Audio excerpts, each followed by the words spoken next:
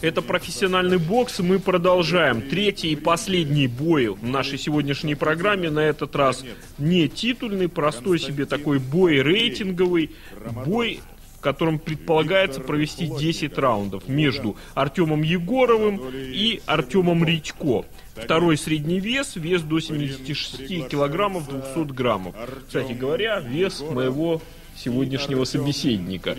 Боевой, так сказать. Почему я говорю, что предполагается провести 10 раундов? Потому что дело в том, что это уже вторая встреча этих боксеров. Вот вы видите, появился у нас как раз-таки Артем Егоров. Так вот, в прошлом бою, боя Артем Егоров дебютировал. Как раз-таки его соперником был Редько.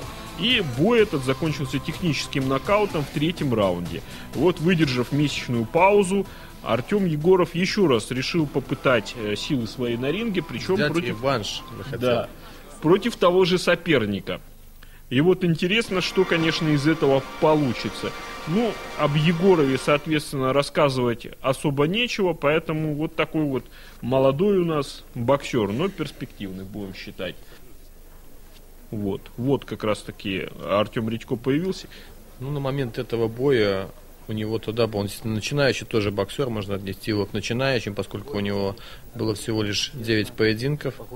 Да, ну для нас еще, я думаю, интересно, в принципе, представляет то, что э, Артем Речко дрался с белорусом Александром Воеводой и 8 раундов выиграл у него по очкам. Ну, там Хотя, был впрочем, такой очень, Константин, очень спорный очевидец, поединок.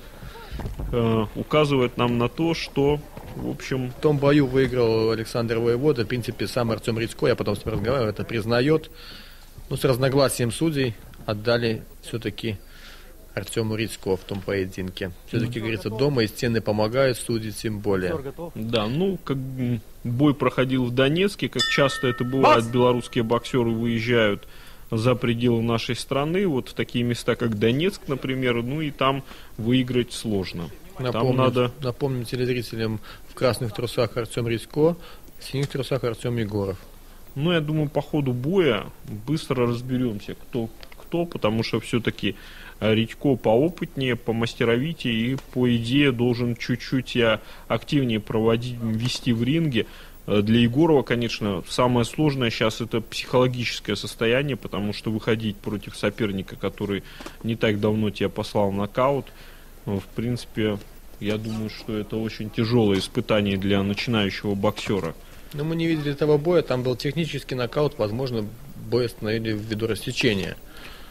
Ну, если честно, я вот усомнюсь, что э, в третьем раунде в дебютном бое стали бы а, устанавливать, останавливать бой из-за рассечения. Ну, а здесь мы видим, что уже практически с первых минут э, Редько так начал очень жестко пристреливаться с правой, достаточно закрытая у него такая стойка, но вот попа- попал он несколько раз.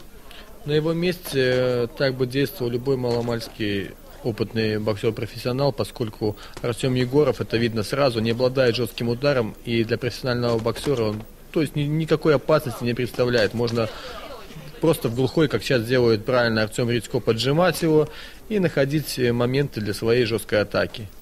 Не Да, спешит он как раз с атакой Артем Редько, и это правильно. Первый раунд идет, куда, в принципе, торопиться. Но, Но почаще уже- все-таки нужно джебом пробивать.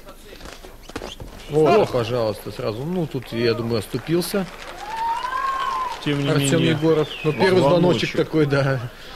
Я думаю, что в перерыве мы увидим повтор этого момента. Вот это буквально третий, наверное, удар такой, который попытался в голову провести Артем Редько. У него был жесткий удар в начале раунда, а потом было несколько ударов в корпус, и вот сейчас, да, вы видите эффективность практически 100%. Вот, казалось бы, такие четкие удары, э, техничные, наносит сейчас Артем Егоров. Однако, повторюсь, они совсем не жесткие. Не жесткие для этой весовой категории. По-видимому, недавно только из любителей перешел Артем Егоров. Еще не успел приспособиться э, к манере ведения в профессиональном боксе.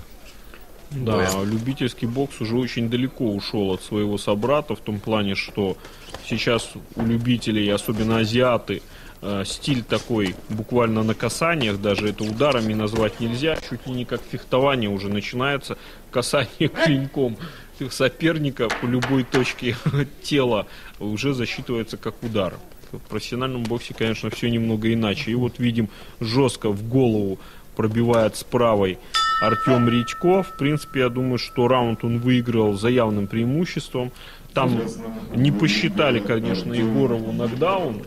Точнее, ну, там посчит... не было, там не было нокдауна, в принципе. Он оступился, но пропустил удар, но в профессиональном боксе это не нокдаун. Он смог сразу подняться, это не было нокдауном, но я так уже вижу по первому раунду, я думаю, что не удастся взять реванш Артему Егорову в этом бою. А мне вот не совсем понятно, что Егоров хочет сам сделать в ринге, если честно, вот по этому первому раунду. Э, хаотичное движение, хаотичные удары, в принципе, никакой тактики в его действиях я лично не прослеживаю. Я думаю, мало он готовился все-таки к реваншу, нужно было уже подойти более серьезно. Да, более серьезно, ну вот как это пропускать такие удары и, ну, как я и говорил, не чувствует опасности Артем Редько, он просто идет даже без удара, хотя, в принципе, это ну, неприемлемо для бокса, тем более профессионально, без удара идти на соперника, поскольку можно словить довольно-таки жесткий, даже в защиту удар, тем более весовая категория серьезная, супер средняя весовая ну, категория. Вот здесь... Ну вот здесь это первый нокдаун, я думаю. Да, коротко так, но очень явно и мощно попал Артем Редько, и вот это уже конкретный звоночек для его соперника Егорова. Ну, видна неопытность, конечно, Егорова, что ну, после такого пропущенного удара опытный боксер никогда бы не остановился, не стал на колено, поскольку все-таки в профессиональном боксе нокдаун – это проигранный раунд. Да, ну и я бы еще отметил одну ошибку, если ты пропустил удар, который для тебя был чувствительный, да, зачем ты снова бросаешься на соперника, О, вот как сейчас. И Четко более классический корпус, голова. Застаиваешься Крест. на месте. Да, вот нас называют такую связку крестами. Он пробивается как э, левый корпус, правая на голову, также потом сразу же правый корпус, левая на голову. Но второй крест, как говорится, не пришлось проводить Артем Рицко, поскольку уже после первого, я думаю, не да, остановит бой.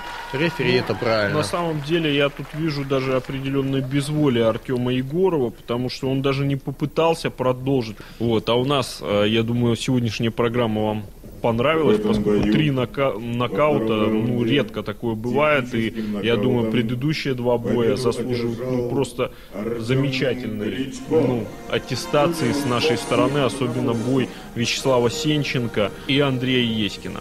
Ну что ж, на сегодня профессиональный бокс с вами прощается. Всего доброго. Увидимся по воскресеньям на СТВ. До свидания, до скорого.